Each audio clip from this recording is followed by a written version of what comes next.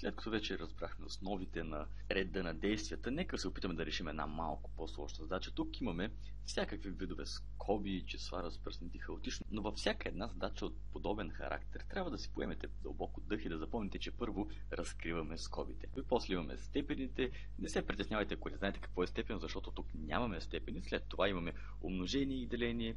Те са с еднаква тежест. Спомнете това. После събиране и изваждане, които също имат еднаква тежест. И някои хора наистина го запомнят просто така в реда, но с времето просто ще започнете да го правите от само себе си. Това е всъщност много лесно. Нека видим как стоят нещата в тази задача. Какво трябва да направим тук? Първо ще трябва да извършим действията в скобите, а тук имаме много скоби. Имаме този израз в скоби, тук имаме още един израз в скоби, който е в две скоби. Поред на действията решаваме първо израза в скобите, но за да разкрием външната скоба, оранжевата, трябва да махнем по-малката, която е жълта. И така трябва да тръгнем отвътре навън. Първото нещо, което трябва да направим е да упростим вътрешната скоба, жълтата. Тук имаме 5 минус 2, нали така? Първо ще извършим това действие вътре. И това се опростява на... Ще го, ще го направим стъпка по стъпка. Веднъж, когато схванете как се прави, може и няколко стъпки наведнъж да правите, но сега ще го направим едно по едно. И тук ще получим 7 плюс 3 по 5 минус 2, което е 3. И всички тези скоби около него, естествено всичко от двете страни, в момента искам да копирам това тук. Така, копирам го. Ще стане естествено по-лесно. Просто го препиша така е най-лесно. Нека секунда. Имам технически затруднения. Делено на 4 по 2. Делено на 4 по 2. И от тази страна имаме 7 по 2 плюс. Ето този целият израз в оранжевите скоби. Сега, нека се огледаме отново. Първо трябва да направим действието в скобите. И трябва да видим, имаме ли останали скоби? И да, имаме, вие ги виждате, те са оранжевите скоби. Така че първо трябва този израз да решим. Нека го довършим. Нека погледнем сега. Вътре имаме 7 плюс 3 по 3. И как бихме извършили това действие?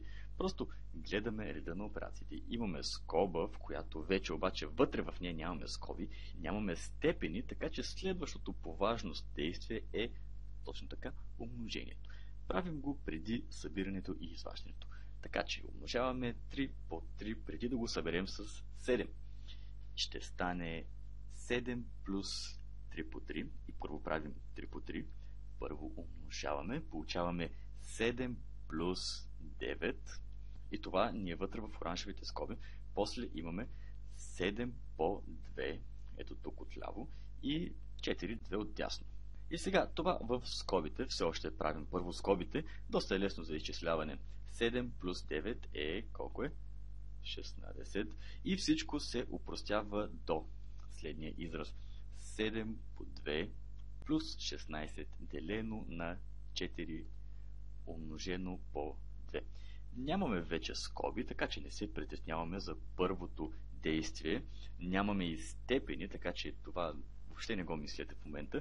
И отиваме на умножение и деление. Имаме неща за умножаване, имаме и неща, които трябва да разделим. И първо ще извършим умноженията и деленията преди изважданията и събиранията. Така, Едното умножение е го 7 по 2 е равно на 14. Ще изчакаме с събирането, изчакайте, и от другата страна имаме 16 делено на 4 по 2. Това действие е по-важно, така да се каже, от събирането, така че първо него ще решим. Но как? Първо да направим умножението или първо делението. Спомнете си какво ви казах в последните два урока, когато имахме две действия от едно и също стъпало на стълбицата на действията, както са тук умножението и делението те са с еднаква тежест и за улеснение можете просто отляво надясно да ги решавате или както желаете. Всъщност няма значение, но за това, което имахме преди малко 16 делено на 4 по 2, се упрости на 4 по 2. Това тук в зеленото и правим после умножението, защото умножението е преди събирането. Това се упростява на 8, получаваме 14 плюс 8. И колко е 14 плюс 8? 22. Равно е на 22 и сме готови.